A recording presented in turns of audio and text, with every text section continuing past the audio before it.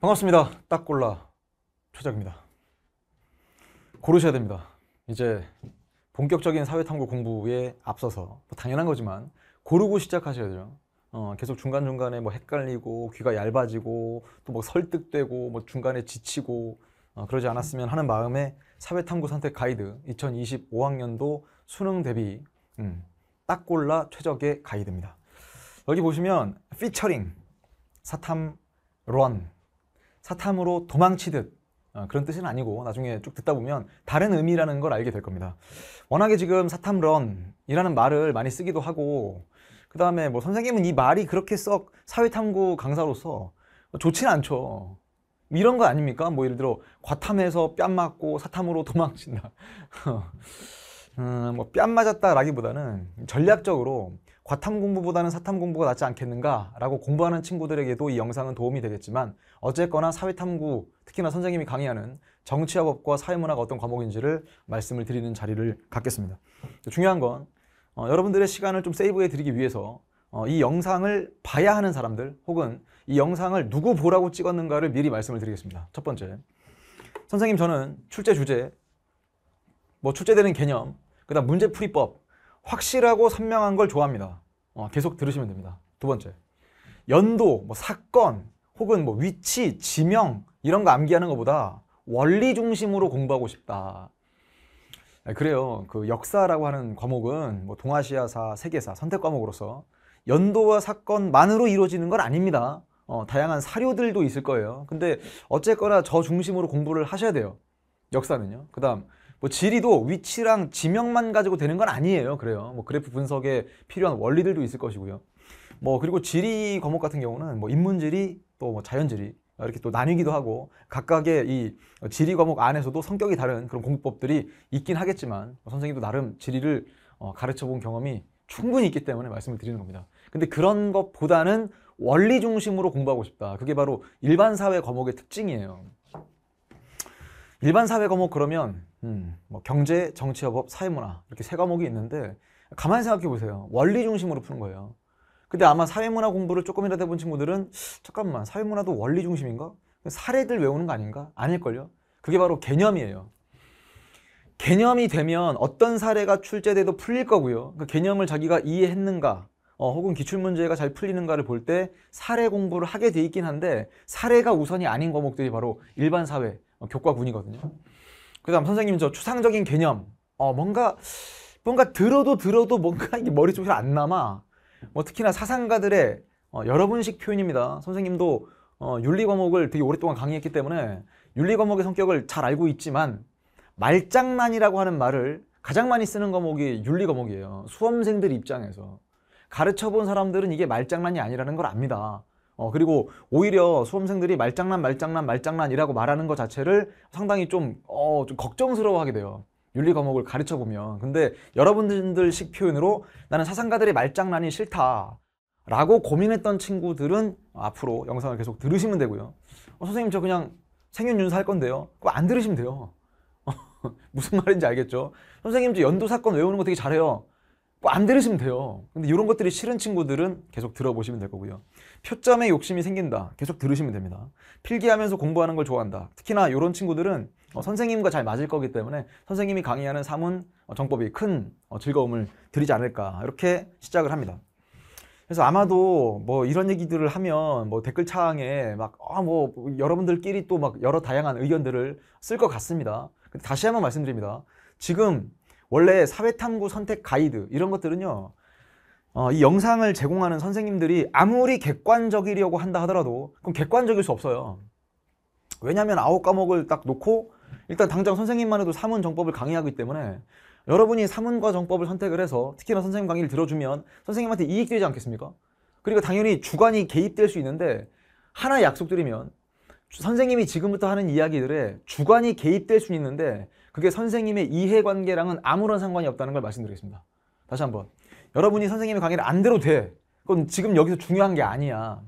그게 아니고 어떤 과목을 선택할 것인가를 고민하는 친구들한테 어, 이런 저런 이야기들을 해드리고 싶은 거예요. 근데 여기에 맞는 친구들한테는 앞으로 선생님이 하는 이야기가 아주 큰 도움이 되지 않을까 싶습니다. 또는 사회문화, 뭐 계산에 자신 있다 하는 친구들은 계속 들으시면 되고요. 선생님 저 정법 독해력에 자신 있다. 그러니까 좀 근, 아, 그, 그, 근, 긴 글을 읽어도 거기서 나오는 정보들을 취합해서 문제를 푸는데 큰 어려움이 없습니다. 하는 친구들한테 이 과목이 딱 맞을 겁니다. 결국 성실한 친구들 또는 최고의 퍼포먼스 음, 원래 최고의 퍼포먼스라 그러면 정법 경제를 꼽는데 정법 사문도 어, 상당히 좋은 퍼포먼스를 줄 겁니다. 왜 그런 거냐면 지금 여러분 혹시 아시는지 모르겠지만 그 문과 수험생들 있잖아요. 음, 그 국어, 수학, 영어의 성적을 사회탐구 과목 어, 선택자로 해서 매칭을 시켜서 나온 데이터들이 있는데 아마 아는 친구들 알 겁니다. 사문 정법 선택자들이 국어, 수학, 영어를 가장 잘합니다. 음, 이거는 다소 선택할 때 여러분들이 뭐 굳이 고민할 필요는 없긴 하지만 최고의 퍼포먼스를 준다. 어, 자기가 이제 공부하는 것처럼 공부하고 싶다 하는 친구들은 이 과목이 맞을 겁니다. 선택 과목 9개잖아요. 나에게 가장 잘 맞는 과목을 딱 골라서 어, 이제 앞으로 남은 기간 동안 열심히 공부해 나가는데 이게 사실상 본인 스스로가 자율적이고 자발적으로 딱 자기가 맞는 과목을 고른다라고 생각할 수도 있겠지만 어찌 보면 선택 당하는 걸 수도 있거든요. 아무런 상관이 없어요. 선택 당하든 여러분이 선택하든 다만 여러분이 최초에 선택할 때는 내가 내 의지대로 선택하고 싶죠. 근데 그것도 잘 생각해 보시면 원래 공부라고 하는 건 진짜 하고 싶은 공부만 할 수는 없거든요. 대학 가서도 마찬가지예요. 선생님 저 예를 들면 경영학과 가고 싶어서 갔어요. 근데 과목 중에는 내가 하기 싫어도 해야 되는 과목이 있을 거예요. 분명히 전공 필수 과목이 있지 않습니까? 아, 뭐 당연한 거 아닌가요? 그 그걸 해야만 졸업장이 나온다면 여러분들은 조틀 신세가를 그걸 해야 돼요. 그때는 무슨 생각만 드느냐?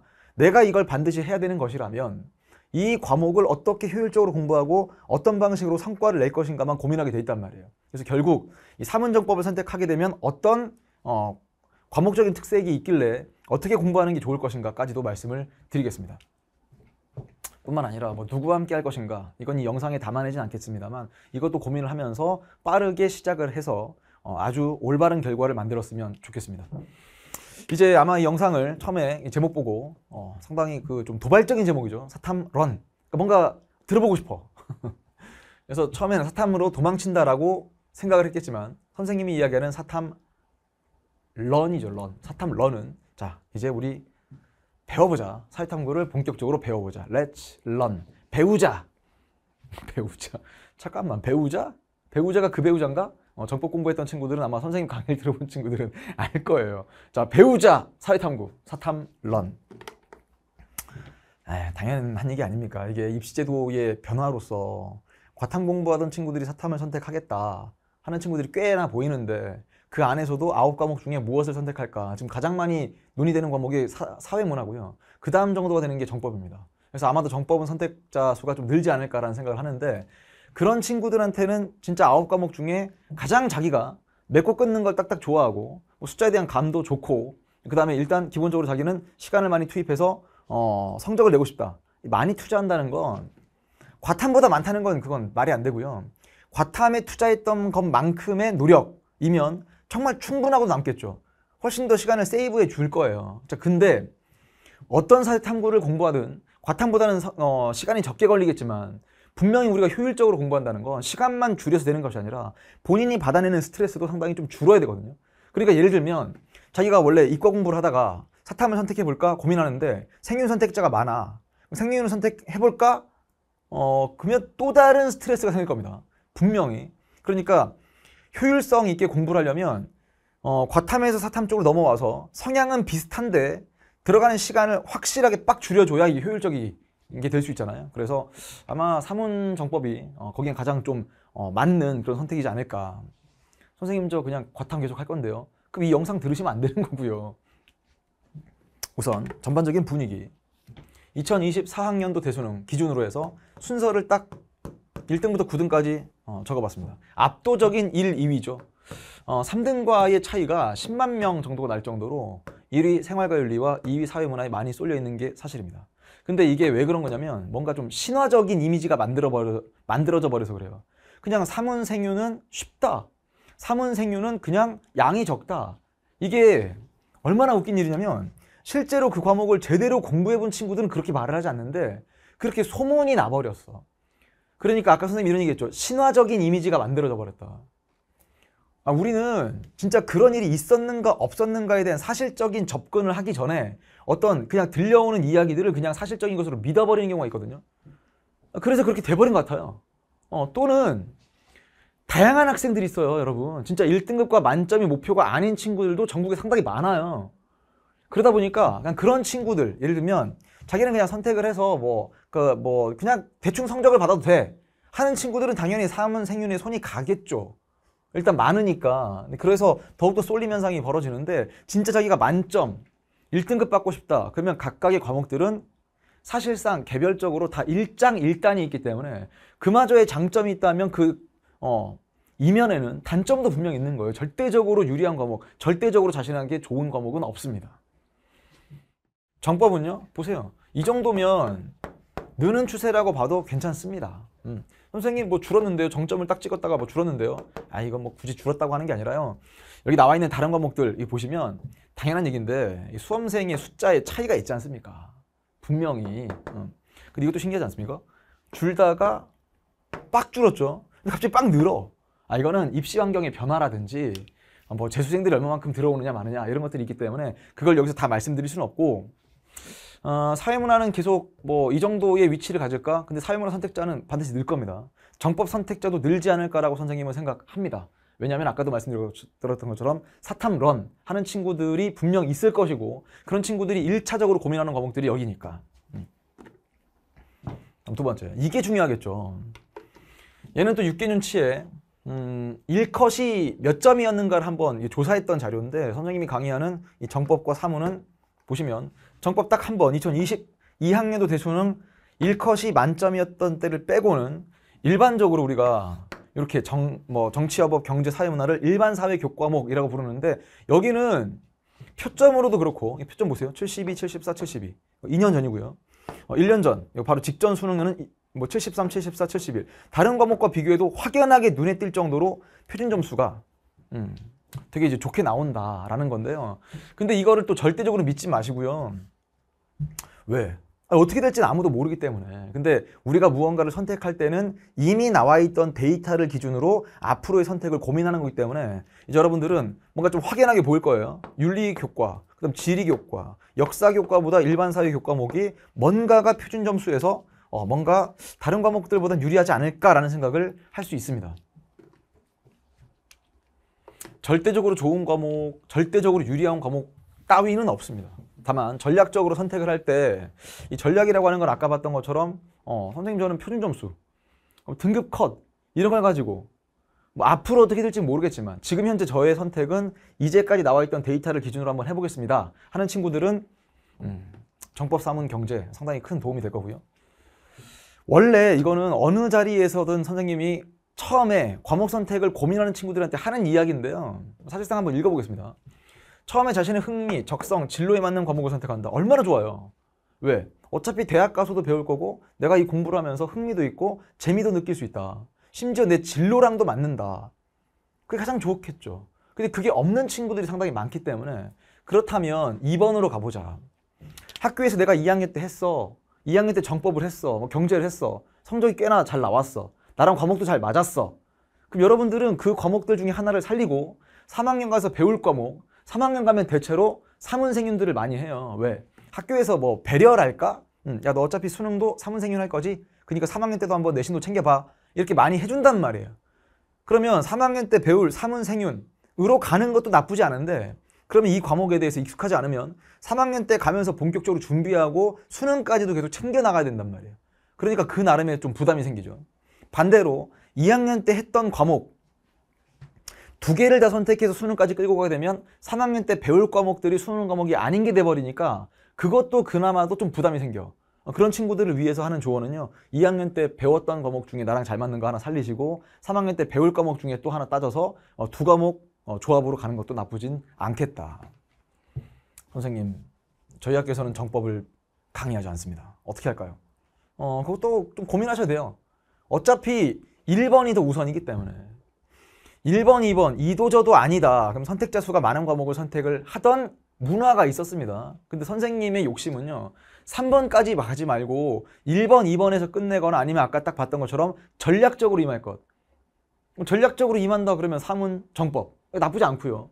그 다음 자신의 흥미적성. 이거로 따지면 원래 정법. 어, 많이 어, 배우니까. 많이 이제 2학년 때 하기도 했고 아니면 이제 뭐 진로 쪽으로도 정법을 많이 고민하니까 4번이 중요한데 시험 성적은 상대적으로 나오는 게 맞아요. 1등급 4%, 2등급은 그 밑으로 또 7%. 그래서 11%까지 들어와야 1등급, 2등급이 나온다는 걸 잘 알고 있을 텐데 하지만 과목 선택 이거는 상대적으로 눈치 보기 하지 마시고요. 절대적으로 하시고 공부도 절대적으로 하시면 됩니다. 그러니까 절대적으로 공부한다는 건 이런 거죠. 남 눈치 안 보는 거니까 어 얘네 얘는 지금 이 정도까지 했어. 나는 아직 한참 멀었어를 다른 사람 눈치 보지 마시고요. 그냥 어떤 특정한 시기에 해야 될 것들을 그 시기에 맞게 그냥 하시면 됩니다. 그거 어떻게 해요? 어떻게 하겠냐? 그래서 커리큘럼이라는 게 있는 거죠. 아니면 선생님이 올려드리는 현강 버전에 그 시기마다 그냥 업로드 되면 바로바로 소화해서 일주일 공부하고 그 다음 주에 업로드 되면 또 일주일 공부하고 이렇게 따라오시는 게 좋을 겁니다. 그냥 절대적으로 만점에 필요한 자격을 자기가 갖춘다고 생각하시면 되고 마지막 5번이 이 영상의 핵심이기도 합니다. burning bridge가 무슨 말이냐면 많은 친구들이 탐구 과목을요 선택 과목이라고 생각하니까 뭐 맞는 말인데 언제든지 자기가 바꿀 수 있다고 믿기 때문에 계속 바꿀까 말까를 고민하게 돼 있어요. 선택 과목이 아니고 필수 과목이면요. 이 과목을 선택할 것인가는 더 이상 고민거리가 아니죠. 그러면 드디어 내가 이 과목을 공부를 해서 성적을 내야 되겠는데 어떤 방식으로 누구와 함께 고민, 그, 그 공부해 나갈 것인가 이것만 고민하게 돼 있어요. 그러니까 사회탐구에서 만약에 자기가 선택을 했어. A 과목 선택하고 나서 6월 모의평가까지 공부를 했는데 성적이 안 나와. 그러면 과목 바꿔야지 그러지 마시고요. 한 번 공부해서 안 나오면 두 번 하고 두 번에서 안 나오면 세 번 하고 이렇게 고민하셔야죠. 그때 쓰는 말입니다. 자기가 다리를 건너왔어. 건너왔던 다리가 그대로 살아있으니까 내가 언제든지 다시 건널 수 있을 거라고 믿어. 그럴 때 계속 흔들려요, 사람은. 그러면 다리를 건넌 다음에 다리를 불태워버리시면 됩니다. 더 이상 나는 돌아갈 수 없다라고 생각하면 앞으로 갈 것만 생각하게 돼 있거든요. 음, 버닝 브릿지 하시길 바랍니다. 한 번의 선택이 계속 가면 여러분 솔직히 말해서 수험생이라면요. 약간 슬픈 이야기일 수도 있는데 문과 친구들한테 물리학을 필수 과목으로 지정해줘 국가에서 그러면 우리는 꼼짝없이 그걸 공부를 해서 성적을 내야 돼요 이과 친구들한테도 만약에 윤리 쪽 공부를 선택이 아닌 필수로 두었다 그럼 그 다음부터는 어떻게 내가 윤리를 공부를 열심히 하고 잘할까만 고민하게 되는 거랑 똑같은 원리가 됩니다 수험생은 원래 그런 어, 신분이라고 생각하시면 돼요 근데 계속 자기가 선택 과목이라고 생각하니까 바꿀 수 있다 바꿀 수 있다 귀가 얇아지는 거고요 한두 번의 실패로 그냥 자기가 이거랑 안 맞으니까 다른 걸로 갈아탄다. 갈아타면 또 그게 무조건 성적이 나오느냐? 그게 아닐 수도 있단 말이에요. 이제 본격적인 사회문화와 정법에 대한 이야기를 해드리겠습니다. 사회문화 어떻게 소문이 나 있냐? 양이 적다. 뭐 인정합니다. 쉽다. 이것도 일정 수준 인정합니다. 통계 게임, 통계 문제 정도가 킬러지. 아 나머지는 뭐 너무 쉬워. 정말 그럴까요? 지금은 오히려 안 그런 것 같은데 어, 통계 문제가 오히려 훨씬 더 풀어볼 만한 문제가 되고요. 아, 그렇죠. 통계 문제를 풀기 위한 기본적인 소양은 갖춰야 되지만 그냥 개념을 쉽다라고만 말하기는 힘든 상황인데도 계속 이런 얘기들이 돌고 돕니다. 그러다 보니 야 양도 적고 쉬운 과목인데 뭐 이제부터 하냐. 여름부터 해도 전혀 늦지 않아. 과연 그럴까요? 선택자 수가 많다 보니까 깔아주는 애들이 많아서 1등급 따기가 쉬워. 정말 그럴까요? 정말 진짜 이게 진짜 이게 맞는 말입니까? 아, 나 모르겠는데. 선생님이 사회문화 강의 22년 차에 접어드는데 이게 다 모르겠는데 그 다음 재미없다? 어, 뭐 재미없다는 건 뭐 학생들마다 좀 달라질 수 있지만 일단 배우는 제목, 어, 제목 어, 그 주제 자체가 자기랑 되게 동떨어진 걸 막 배운다고 생각하니까 이게 재미가 없는 거예요. 왜 정법이란 과목은 재미를 느끼냐면요. 뭐 TV만 틀어도 뭐 국가기관에 대한 이야기가 나와. 혹은 사건 사고 소식들이 들리면 자기가 배웠던 내용이 바로 쓸모가 있다는 걸 알게 돼. 뭐 그다음 드라마 범죄 드라마 혹은 뭐 법정 드라마 얼마나만큼 많습니까? 주인공이 변호사인 거 널려 있죠. 그러다 보니까 정법은 되게 익숙한 과목이고 재미를 느끼는데 사무는 안 그럴 거라고 생각하거든요. 아니에요. 사회문화가 왜 안 그렇습니까? 엄청나게 우리 삶과 아주 밀접한 관련이 있지요. 근데 그렇게 강의하는 게 있고 아닌 게 있어서 그렇지. 그래서 자기가 이제 강의를 쭉 듣다 보면 그냥 선생님들의 썰을 듣는 건 재밌는데 과목 자체가 좀 재미없는 거 아니냐? 어, 그렇지 않을 텐데요. 원래 사회학이라는 학문은요. 맛들이면 약도 없다 그래요. 사회학이 한번 맛들이면 약이 없다고요. 그만큼 재미있는 과목이 됩니다. 그래서 어떻게 그 태도를 잡아 나갔으면 좋겠냐면 처음부터 진지하게 공부하자. 그 다음 통계 문제만 뭐 어렵다고 생각하지 마시고요. 이게 쉬게 어유가 무슨 말이냐면 쉬운 개념 혹은 쉬운 주제인데 어려운 껍데기가 쓰여져 있어. 어려운 유형이거든요. 유형. 그럼 여러분 이건 쉬운 문제입니까? 어려운 문제입니까? 다시 한번. 개념은 엄청 쉬운데 껍데기가 어려운 유형이 씌워져 있어. 그럼 이건 쉬운 문제입니까? 어려운 문제입니까? 당연히 그 어려운 문제예요. 정답률만 봐도 알죠. 아 그러네. 많은 수험생들이 틀렸어. 그럼 우리가 기본적으로 그걸 어려운 문제라고 하는데 그건 통계 문제만 정답률이 떨어지는 게 아니에요. 뿐만 아니라 다양한 함정들로 여러분들을 평가원이 맞이하고 있어요. 자 한번 해보자. 어, 너네는 이제 끝났어. 너 1번 고를 거지? 어, 준비됐지? 딱 고르는 순간 그냥 틀리는 거예요. 왜? 평가원은 줄 세우기 하는 역할을 담당하고 있기 때문에 그렇습니다. 아, 오죽했으면 이름이 평가원이겠습니까? 어차피 경쟁이고요. 그러니까 그 경쟁에서 살아남기 위한 노력은 사회문화가 양이 적고 내용이 그냥 쉽다라고만 해서 작은 노력을 들여서 항상 승리할 수 있다는 뜻이 아니란 말이에요. 절대로. 경쟁인데. 3번은 무슨 뜻일까? 보험에 가입한다는 생각으로.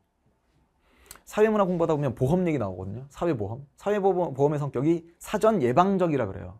미리 준비하는 겁니다. 그러니까 그냥 예를 들면 아니 그럴 수 있죠. 6월 모의평가 끝난 이후에 어, 무더워진 여름에 어, 내가 이제 사문을 시작해보자. 어, 그렇게 해서 성공하는 친구들은 국어, 수학, 영어가 아주 잘 돼 있는 친구들. 그때 사문 공부에 집중적으로 투자할 수 있는 친구들은 그럴 수 있습니다. 하지만 그게 아니면 6월 달까지 갔는데 국어, 수학, 영어가 어정쩡한 상황이야. 사문도 안 돼 있어. 그때 가서 정말 쫓기듯이 공부한다고 성적이 나올까? 별로 그러지 않습니다. 그러니까 우리가 그냥 12월 말부터 뭐 혹은 뭐, 뭐 늦어도 뭐 1월 달부터 시작을 해서 차근차근 준비를 하면서 어쨌거나 개념 쉬운 건 빨리 끝내고 그 뒤에 가서 각종 심화 강의라든지 실전 문제풀이 강의를 통해서 여러분들이 꾸준히 리허설을 할 수 있는 연습들을 해 주셔야 돼요.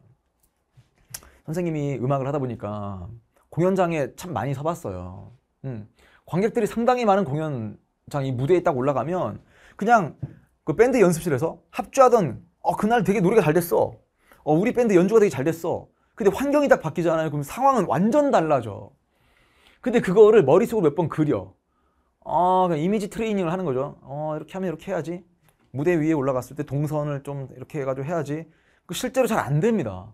그러니까 우리가 리허설을 하는데 사회문화는 그 리허설을 어, 엄청나게 많이 해봐야 돼요. 근데 이런 사람들이 있어. 큰 공연장 무대에 서는데 그냥 리허설할 공간이 별로 없으니까 그 연습실에서 몇 번 리허설을 해봤을 때 그건 리허설이 아니에요. 왜? 큰 무대가 공연장이면 큰 무대에서 계속 노는 연습을 해봐야 거기가 익숙해지는 겁니다. 그러니까 실전 문제풀이 훈련은 큰 무대라면 큰 무대급의 그런 공간에서 연습이 돼야 되거든요. 그러니까 분명히 사회문화, 수능이 어렵다면 여러분들이 하는 실전 연습, 리허설도 어려운 문제여야 됩니다. 또 하나, 실전 연습이라고 하면서 다지선다를 하면 안 되는 거예요. 어, 선생님 커리에도 다지선다가 있지 않나요? 그건 실전 연습이라고 하는 게 아니라니까요. 그거는 실전에 가서 강해지기 위해서 좀 더, 어, 더 빡센 환경에서 노력을 하고 들어가는 거고, 실전 연습은 마지막엔 진짜 그 공연장 무대를 아주 닮아 있는. 가급적이면 진짜 공연장 가서 해보는 게 좋겠죠. 그게 필요하고요. 이제 정법입니다. 양이 많다. 뭐 인정합니다. 상대적인 거니까. 근데 그렇다고 해서 이 정법 양이 많다고 무슨 뭐 다른 과목과 비교하면 진짜 양이 많은 거냐. 아니, 그렇게 아닐 텐데. 자, 또 하나는 양이 많은 건 강의가 많은 걸 수도 있어요. 그 왜 그럴까? 과목의 성격 때문에 그렇습니다. 강의를 한 번에 빡세게 해. 선생님 기준으로 한다면 정법이 42강이지 않습니까? 개념 완성 들어본 사람들 알걸요? 42강에서 다 해요, 그냥 다. 그러면 앞으로 남은 기간 동안에는 배우는 것들이 새로운 걸 배우는 게 아니라 이제까지 자기가 했던 걸 다져나가는 것밖에 안 되거든요. 그 다음 어렵다? 아예 어려운 건 낯선 거겠죠. 생소한 거겠죠. 처음에 한 번 들었을 때 그걸 어떻게 다 외웁니까? 아니 자기가 되게 그 의미 있게 들었던 음악 노래 제목도 짧은 것들은 금방금방 외워지지만 만약에 자기가 팝송을 딱 들었어. 어, 되게 막 귀에 딱 꽂혔어. 근데 그 노래 제목이 좀 길어. 아 노래 제목 그것도 잘 기억 안 나요. 친구들 이름도 잘 기억 안 나는데. 처음 본 친구들이라면. 근데 우리가 뭘 걱정해요? 그 노래 좀 듣다 보면 어느 순간 가사까지 다 외워질 텐데요. 그걸 외우려고 하는 게 아니라 자주 듣다 보면 친구들과 자주 어울리면서 이름 부르다 보면 그 이름 금방금방 당연히 외워지겠죠. 선거 게임은 손도 못 댄다? 지금 과연 그럴까요? 어, 너무 복잡한 계산 때문에 어, 너무 이게 어려운 주제야. 지금 그러지 않습니다. 선거 문제는 원리 중심으로 가는 거기 때문에 그 원리를 정확하게 이해한다면 어, 함정만 잘 피하시면 충분히 문제를 풀 수 있습니다. 세 번째, 고인물. 심지어 막 썩은 물이야. 콘크리트야. 박살내려고 해도 절대 박살나지 않는 그 뭐 극상위권 수험생들이 이 안에 있다 보니까 내가 어 진짜 할 수 있을까? 그거는 다른 과목도 다 마찬가지 아닙니까? 고인물이 있는 거, 역사, 역사 덕후들, 지리, 지리 덕후 많고요. 윤리도 마찬가지인데 그럼 정법도 마찬가지이기 때문에 그 정법 선택을 고민할 때 고인물과 썩은 물, 콘크리트, 수험생들 때문에 어 난 이거 하기 싫어. 뭐 어디로 갈 겁니까? 이런 것들은 그 하나 뭐 핑계라든지 이 과목을 그냥 깎아내리려고 하는 것밖에 안 되는 거 아닌가라는 생각이 들고요. 소수 과목이다. 그렇죠. 이게 또 상대적인 거니까. 아 이건 어찌 보면 상대적인 거라서 인정하는데 비인기 과목이다. 이건 인정하기가 곤란합니다. 정법 공부하는 친구들은 얼마만큼 그 정법에 애정이 있고 그다음 정법을 안 하는 친구들도 정법이란 과목 자체를 싫어한다기보다는 정법은 되게 재밌게 배웠는데 내가 저걸 할 자신이 없어. 그래서 안 하면 안 했지. 정법이라는 과목 자체가 되게 인기 없는 과목이라고 말하기는 힘들 겁니다. 마지막 컨텐츠 부족. 상당히 그 좀 많은 수험생들이 이거를 염려하는데 막상 생각해 보면 컨텐츠가 부족하다라기보다는 선생님만 해도 그래요. 우리 연구실이 만드는 컨텐츠를 100% 완벽하게 소화해서도 시간이 텅텅 남는다. 그런 수험생들 별로 보지 못했습니다. 근데 그런 컨텐츠가 부족하다는 것도 상대적인 거기 때문에 와, 뭐 예를 들어 사문 생윤은 선택자 수도 많다 보니까 뭐 EBS에서도 각종 사설 기관에서도 혹은 선생님들마다도 또 그만큼 어, 경쟁도 치열하지 않습니까? 강사들도 많고. 그래서 컨텐츠가 많아 보이는 거지. 그럼 정법은 컨텐츠가 절대적으로 적은 거냐? 그러지 않고 그걸 꼬박꼬박 잘 소화를 한다 그러면 충분하고도 남지 않을까라는 생각을 합니다. 결국 배신이 없는 과목이다. 노력한 만큼 결과로 보상받는 정의로운 과목이다. 이건 하나의 믿음으로만 의미를 갖는 게 아니고요. 사실 그 자체이기도 해요. 아, 선생님 다른 과목은 안 그렇습니까? 그 뜻이 아니라 정법을 고민하는 친구들은 이런 믿음도 가져야 되고 이게 하나의 사실로서 자기가 어 그래 내가 노력한 만큼 결과로 보상받을까? 뭐만 받았냐면 수능이 끝났어. 자기가 원하는 만큼 성적이 좀 안 나왔다고 느끼는 친구들도 납득을 하는 과목이에요. 실생활과 가장 밀접하고 재밌는 과목이다. 그 다음 아까 보여드렸죠. 사문과 마찬가지로 정법도 표점에서 절대 손해보지 않을 과목이다. 그 다음 4번 중요합니다. 오개념 이런 건 없습니다. 애매하거나 모호한 게 없어요. 깔끔한 그 자체입니다. 명확하고 딱 떨어지는 과목이니까 아까도 얘기했던 것처럼 사탐 런을 고, 민하는 친구들은 이게 맞지 않을까라는 생각을 해봅니다. 그럼 반대로 해서 선생님 지금 이게 사탐 런만 얘기하는 영상이 아닌데 제가 문과인데요.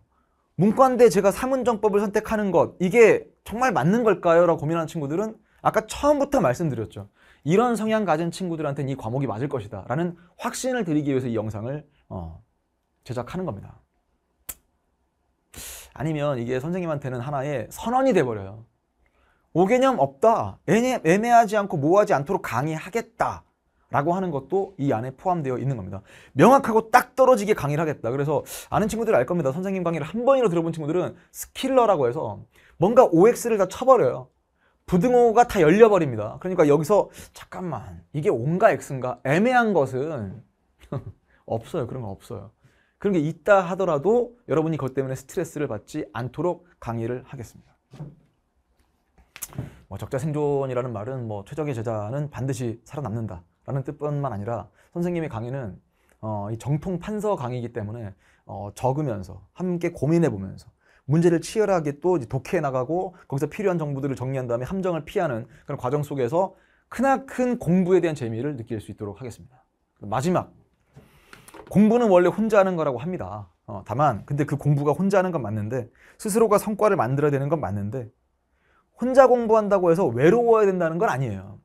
언제든지 여러분들이 의지할 수 있는 어, 대한민국 최고의 연구실이 여기 있기 때문에 적재들의 만점을 위해서 선생님 혼자만 활약하는 거 아니잖아요. 선생님 뒤에는 어, 보이지 않게 우리 조교들과 연구진들이 탄탄하게 마치고 있기 때문에 전혀 걱정할 필요 없이 만점에 음, 도움이 될 수 있도록 노력하겠습니다. 사회탐구 선택 가이드를 한번 제시해 봤는데 아, 이제 마지막 인사를 드릴 때 다시 한번 말씀을 좀 드리고 싶어요. 버닝 브릿지가 가장 중요하다. 절대 귀가 얇아지거나 어, 아니면 이제 흔들리거나 선생님도 솔직히 말해서 강의를 해오던 과정에서 다양한 제안도 받아봤고요.